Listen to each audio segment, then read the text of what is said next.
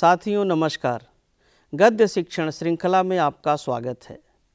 इस श्रृंखला के अंतर्गत आज हम गजानन माधव मुक्तिबोध और उनका निबंध, नए की जन्म कुंडली एक पर चर्चा करने जा रहे हैं। गजानन माधव मुक्तिबोध का यह निबंध, नए की जन्म कुंडली एक एन की कक्षा ग्यारह की ऐच्छिक हिंदी की पाठ्यपुस्तक, अंतरा भाग एक में संकलित है। निबंध से जुड़े महत्वपूर्ण बिंदुओं पर प्रकाश डालने के लिए विषय विशेषज्ञ के रूप में आज हमारे बीच डॉक्टर के पी सिंह उपस्थित हैं। डॉक्टर के पी सिंह दिल्ली विश्वविद्यालय के आर्यभट्ट कॉलेज में भाषा साहित्य शिक्षण के महत्वपूर्ण अध्येता हैं। उनसे बातचीत कर रहे हैं डॉक्टर सूरज बहादुर थापा। प्रोफेसर सूरज बहादुर थापा लखनऊ विश्वविद्यालय में भाषा साहित्य शिक्षण के प्रख्यात अध्यापक हैं। भाषा साहित्य शिक्षण में उनकी गहरी रुचि है। आइए देखते हैं उनकी बातचीत। नमस्कार, आज हम गजानन माधव मुक्तिबोध की आलोचनात्मक कृति, नए की जन्म कुंडली एक पर चर्चा करेंगे। इस चर्चा के लिए हमारे बीच विषय विशेषज्ञ के रूप में उपस्थित हैं डॉक्टर के पी सिंह। डॉक्टर साहब, आपका इस कार्यक्रम में स्वागत है। इसके पहले कि हम इस पाठ पर चर्चा करें। मैं चाहूँगा कि आप मुक्तिबोध जी का एक सामान्य परिचय प्रस्तुत करें ताकि पाठ को समझने में सहूलियत हो। मुक्तिबोध का जन्म शिवपुर ग्वालियर में हुआ था। 1917 में मुक्तिबोध की शिक्षा दीक्षा मध्य प्रदेश में ही हुई थी। उन्नीस सौ तिरपन में उन्होंने नागपुर विश्वविद्यालय से पोस्ट ग्रेजुएशन किया था। और उन्नीस सौ अट्ठावन में दिग्विजय सिंह महाविद्यालय राजनाथ गाँव में वे प्राध्यापक नियुक्त हुए थे।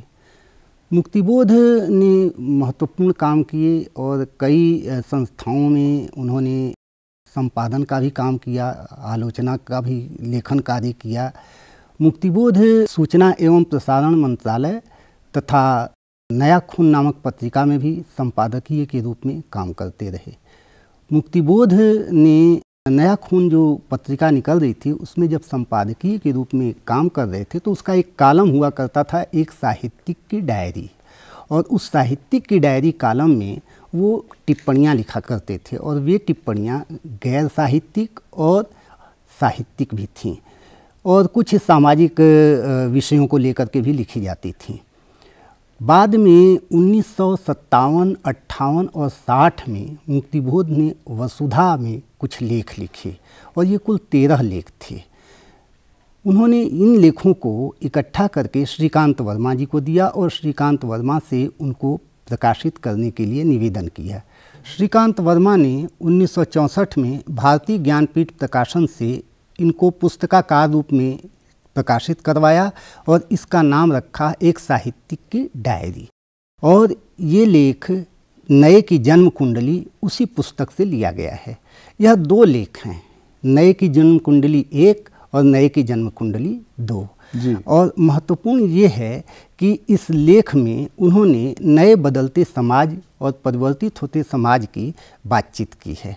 इसके अतिरिक्त उनकी महत्वपूर्ण पुस्तकें समीक्षा की समस्याएँ नए साहित्य का सौंदर्य शास्त्र कामायनी एक पुनर्विचार चाँद का मुँह टेढ़ा है भूरी भूरी खाक दूल विपात, उनकी महत्वपूर्ण पुस्तकें हैं।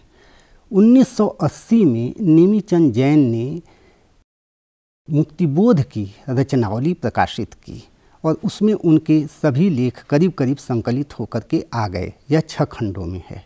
तो मुक्तिबोध का संपूर्ण कार्य यही रहा है।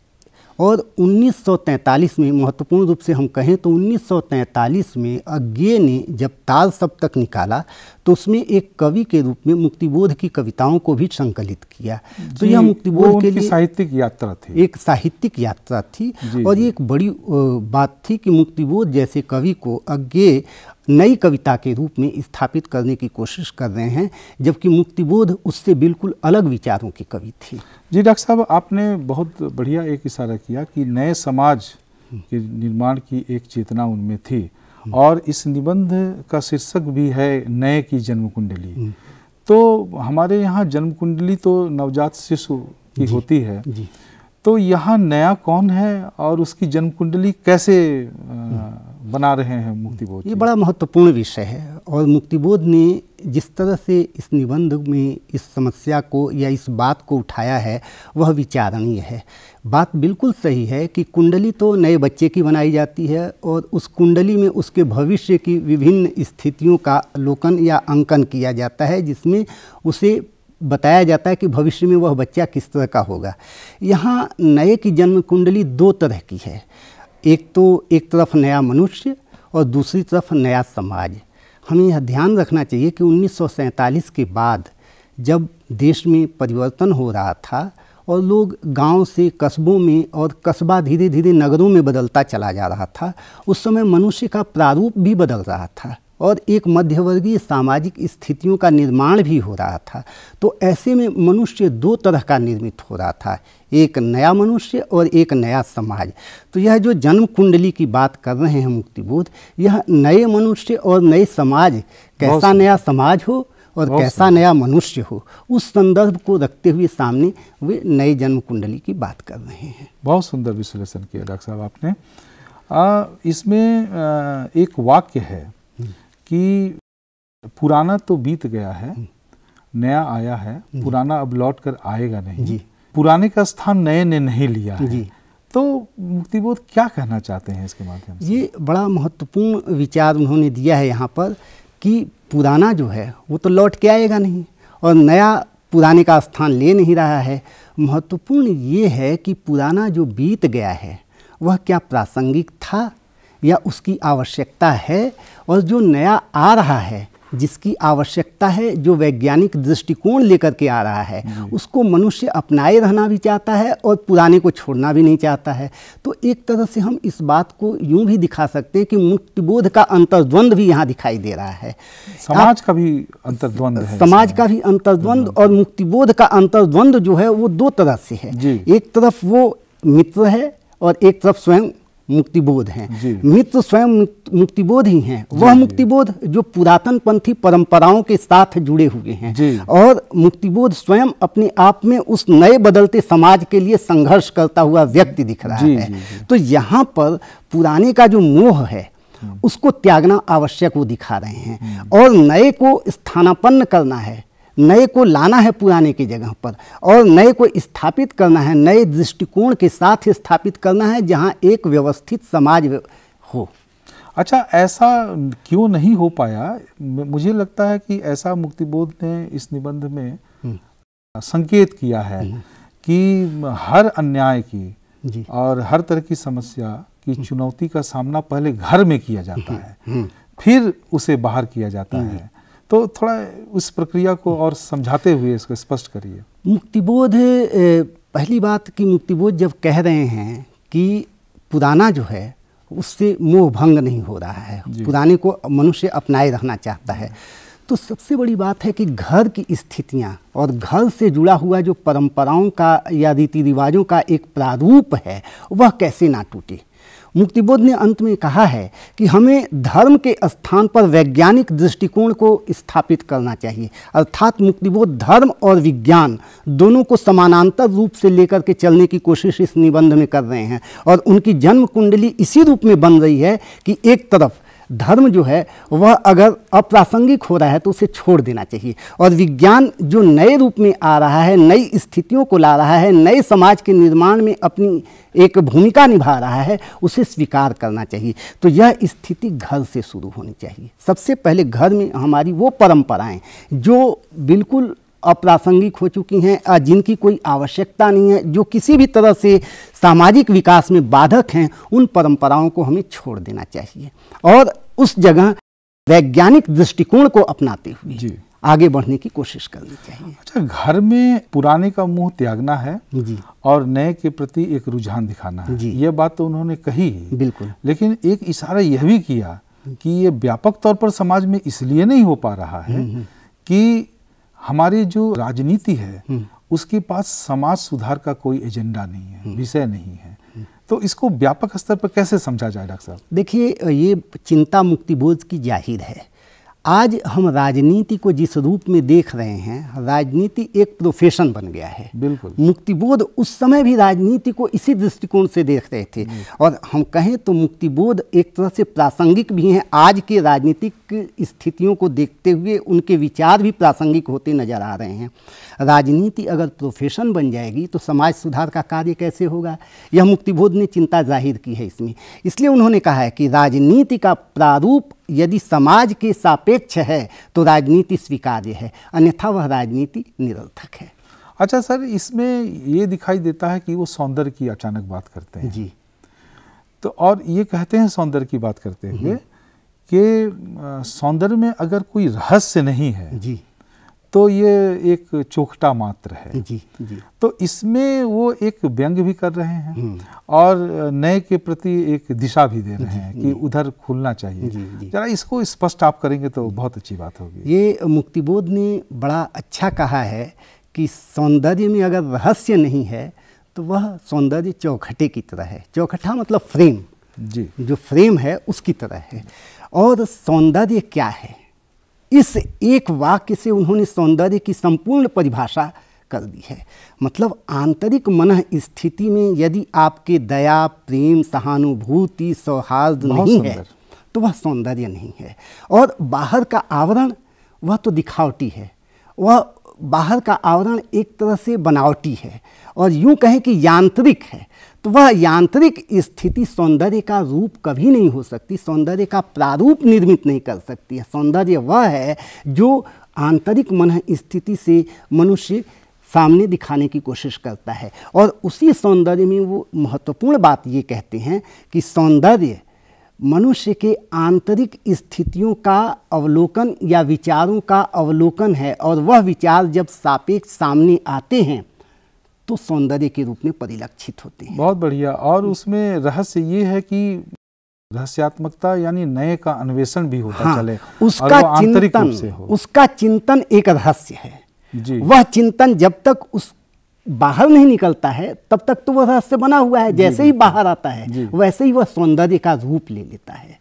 तो डॉक्टर साहब ये इस निबंध में ऐसा क्यों कहते हैं कि जो इतना परिवर्तनकामी इच्छा रखता है समाज को नया बनाना चाहता है वह पात्र अचानक ऐसा क्यों बोल उठता है कि मेरी ज़िंदगी एक भूल का है नक्शा है? जी जी। ये भूल का नक्शा सांसारिक दृष्टि से है या सामाजिक परिवर्तन की इच्छा रखने वाली बहुत आदर्श दृष्टि से है।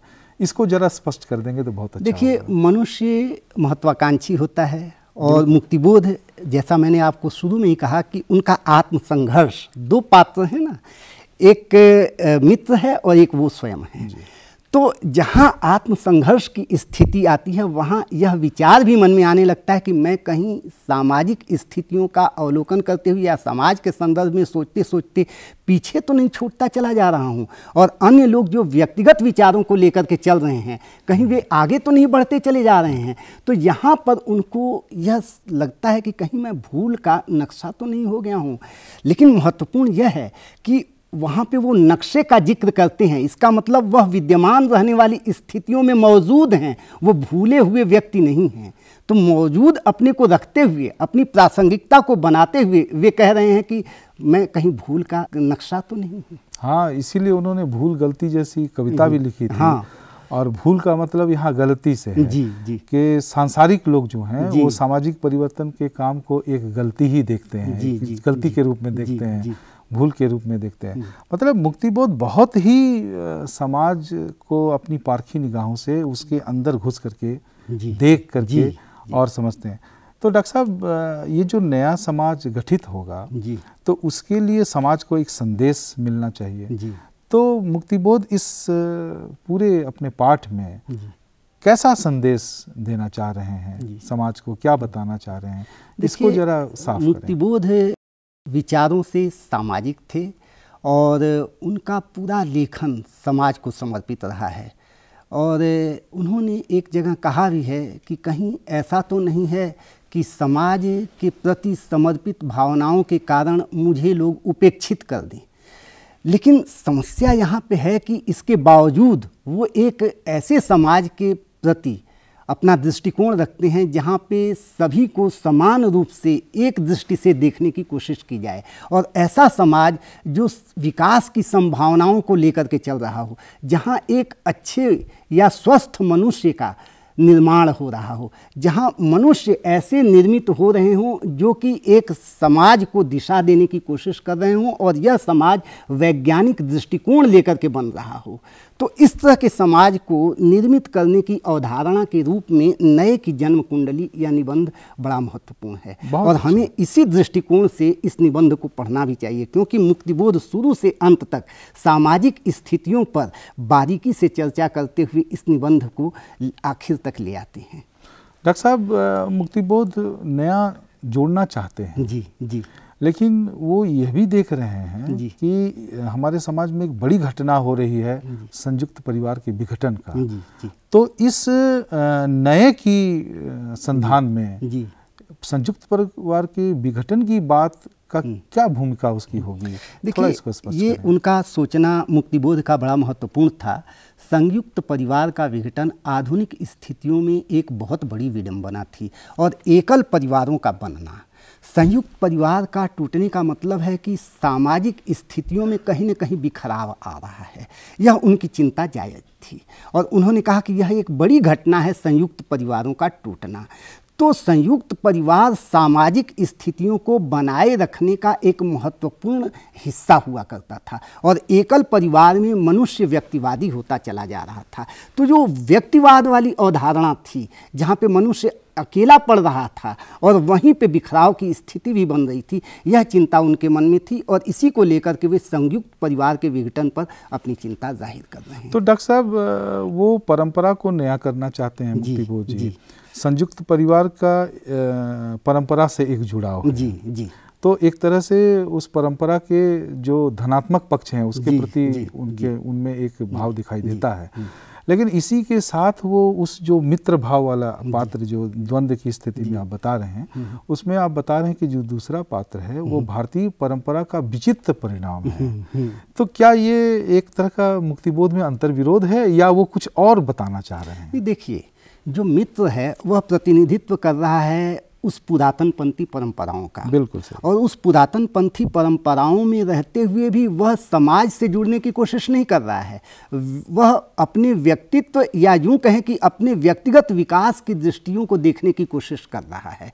मुक्तिबोध यहीं पर उससे विवाद करते हैं कि नहीं जहाँ पर तुम अकेले पड़ जाओगे वहाँ सामाजिक स्थितियाँ तुम्हें उपेक्षित कर देंगी। और जहाँ सामाजिक स्थितियाँ उपेक्षित करेंगी वहाँ पर तुम बिखरते चले जाओगे। तुम अपना व्यक्तिगत विकास नहीं कर पाओगे जिस दृष्टिकोण से तुम सोच रहे हो। इसलिए सामाजिक विकास की स्थितियों में ही तुम्हारा अपना विकास मौजूद है। इसलिए संयुक्त परिवारों का बने रहना आवश्यक है। जी और परंपरा का विचित्र परिणाम?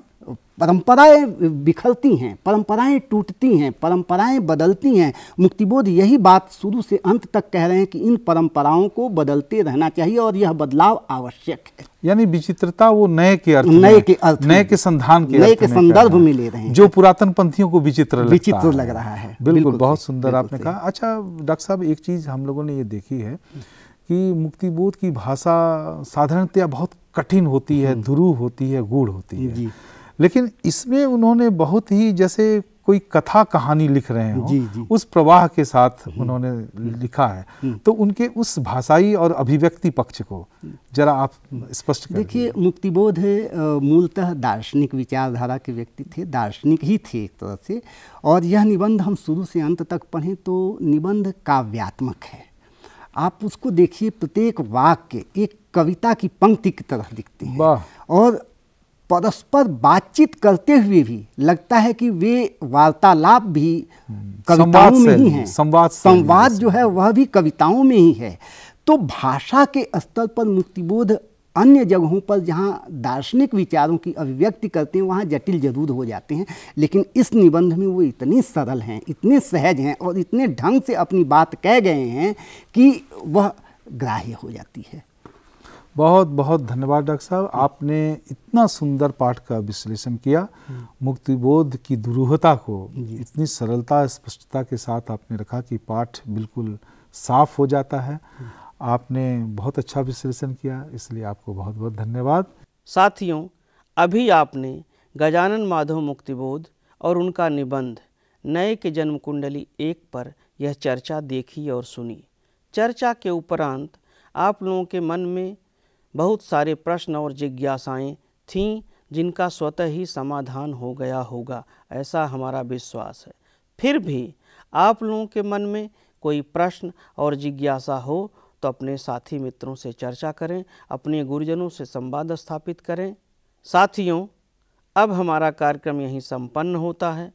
अगले कार्यक्रम में हम किसी अन्य लेखक और उनकी रचना के साथ फिर प्रस्तुत होंगे। तब तक के लिए हमें आज्ञा दीजिए। नमस्कार।